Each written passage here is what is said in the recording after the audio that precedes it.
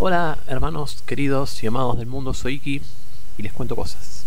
¿Qué vamos a ver hoy? Vamos a seguir viendo OpenGL, vamos a aprender a dibujar puntos. Y en el próximo tutorial vamos a seguir con otras figuras obviamente, pero para introducir vamos a ver cómo dibujamos lo más básico, son los puntos. Primero incluimos la librería, ya está todo configurado, mira los otros tutoriales para eso, ya te lo expliqué. Vamos a crear la función del main, return 0, entonces inicializamos. ¿Qué inicializamos? Primero inicializábamos loot, al revés. teníamos que pasar como referencia estas dos. Ahora sí, lo siguiente que inicializábamos era el display mode, que le decíamos que queremos usar RGB. Eh, y que queremos usar un solo buffer para dibujar. Lo viste en el anterior tutorial todo esto. ¿Qué más queremos hacer? Eh, ¿Qué mierda me está tirando un error ahí? ¿Qué le pasa esto? Se queja. Está bien. Bueno, ¿qué más queremos hacer? Queremos inicializar eh, la ventana, eh, la posición de la ventana. Vamos a poner 50-50 también queremos inicializar el tamaño de la ventana, 800 por 600. ¿Qué más tenemos que hacer? Tenemos que decirle cuál eh, crear la ventana. Create window. Nombre, tutoi que vamos a poner. Ahora le tenemos que decir qué función vamos a usar para dibujar, para mostrar en pantalla, digamos. Le vamos a llamar dibujar a la función. La vamos a crear acá.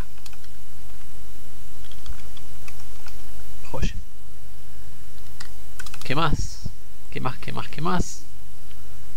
Si te quema... No, no tiene nada que ver. Bueno, eh, acuérdate que llamamos al main loop, que es lo que se va a repetir. Hasta acá tenemos más o menos lo que teníamos en el anterior. Y lo que hacíamos para vaciar el buffer era Blood Flush. GL Flash. Esto muestra y vacía el buffer. Ok, bueno. En el medio de estas dos cosas, de, o sea, antes de llamar al loop que se repita, vamos a hacer una función que se llame iniciar. Que vamos a iniciar la cámara, por ejemplo, porque vamos a tener una posición en la escena. Y otras variables que más adelante van a tener importancia. Ahora no las vamos a inicializar porque todavía no las vimos. Pero, por ejemplo, no sé. Algunas posiciones, colores y demás boludeces. Entonces acá vamos a llamar a la función iniciar. Que todavía no la creamos, la vamos a crear acá. Ahí está. ¿Qué le vamos a decir a la función inicial? Lo primero que le vamos a decir es el color que voy a usar para limpiar la pantalla. Acordate que cuando limpio utilizo un color. Eh, clear Color. El Clear Color le tenemos que pasar el eh, cuatro parámetros. El rojo, el verde, el azul y el alfa. O sea, el red, green, blue y alfa. Los RGB. Ah. Eh, acordate que en otras por ejemplo en SFML y como habrás visto por lo general van todos hasta 2.55 o sea esto sería el máximo valor que pueden cobrar. Acá la diferencia es que van de 0 a 1 por ejemplo 1 es completamente rojo 0 está perdiendo la opacidad del rojo en ese la, la intensidad del rojo. Entonces yo pongo 1 0 0 1 el último 1 siempre lo voy a poner porque quiero que sea totalmente opaco si no es transparente si es 0 eh, acá se le estoy diciendo rojo es totalmente rojo, verde no, no tiene nada de verde y azul tampoco. O sea que va a ser completamente rojo, si no, ya, si pongo así ya estaría mezclando rojo y verde. Le puedo poner 0.5 para que tenga no tanta intensidad, bla bla bla, se mezclan. Van produciendo los colores primarios. Bueno, yo quiero que se limpie en azul, así que RGB, blue, el blue le ponemos. Ahora, ¿qué más vamos a hacer? Vamos a eh, la segunda cosa, como vamos a dibujar un punto, vamos a decirle el tamaño que vamos a dibujar los puntos. Quiero que tengan 5 puntos. Otra cosa que quiero hacer ahora, porque sí, es ponerle el color que vamos a dibujar los puntos. Lo podría poner en la función dibujar esto. Ya que si dibujara, por ejemplo, líneas, quiero una línea violeta eh, y un punto azul, si acá en iniciar le pongo que todo va a ser azul, después todo va a ser azul. Pero como acá vamos a dibujar todo el mismo color, lo inicializamos acá. Color 3i, fíjate, 2i, perdón. No, 3, 3i. ¿Por qué 3i? Porque le vamos a decir, eh, si ponemos 4i, tendríamos rojo, verde, azul y el alfa, o sea, la transparencia. Como yo voy a hacerlo completamente opaco, o sea, la transparencia va a ser la misma, le pongo 3 y una variable más simple. ¿De qué color los vamos a dibujar? Rojo los vamos a dibujar.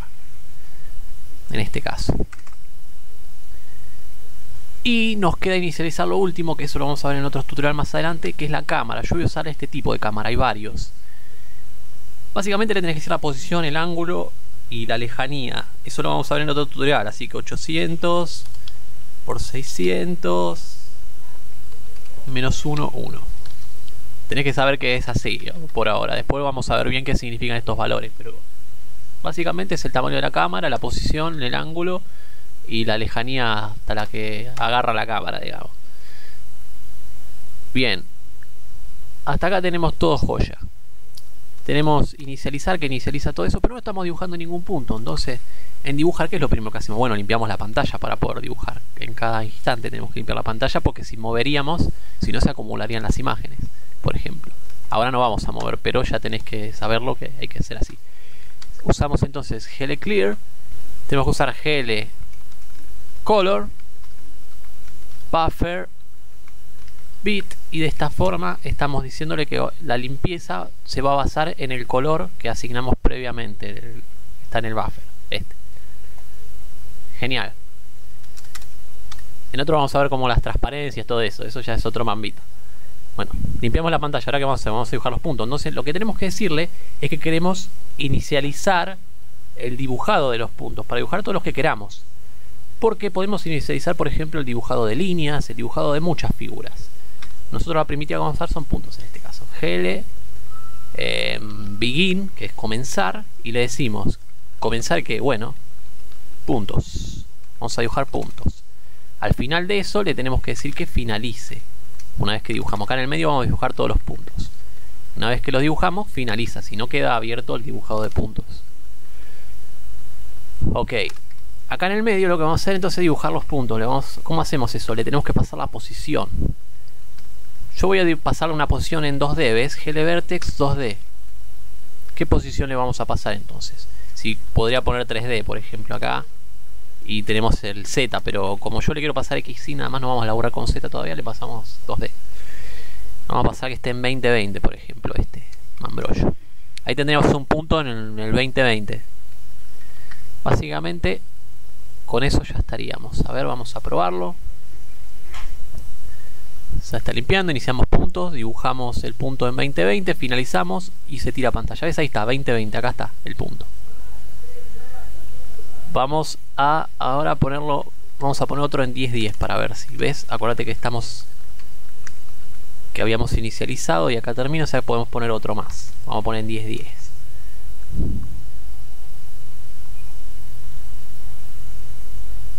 Ahí está, estamos en 1010, ahí estamos, ¿ves? Vamos a poner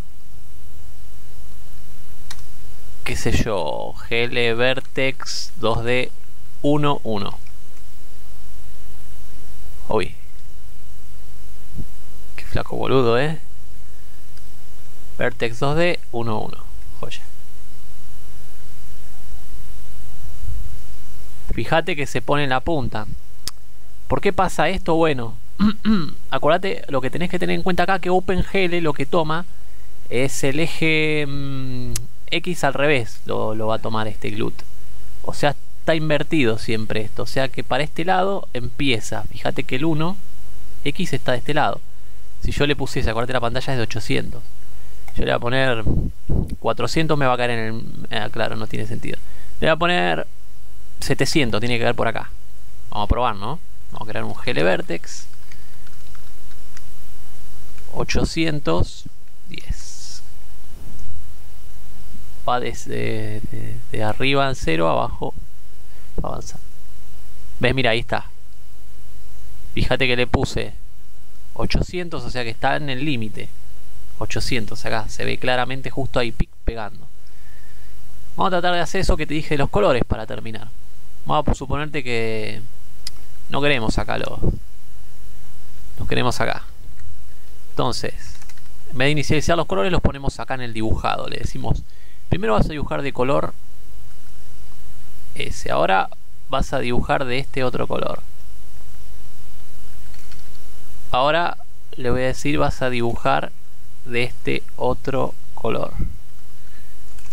Y ahora vas a dibujar de este otro color, le voy a decir. Fíjate acá lo que le estaba pifiando.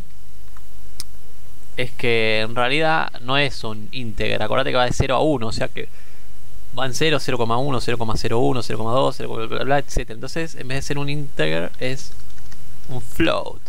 El color. Es un float. Entonces estamos usando un float en este caso, un flotante, un número decimal con coma, ¿ves? Ahí está, ahí tenemos amarillo, rojo, verde. Bueno, básicamente eso fue todo. Vamos a ver del próximo seguramente las otras figuras.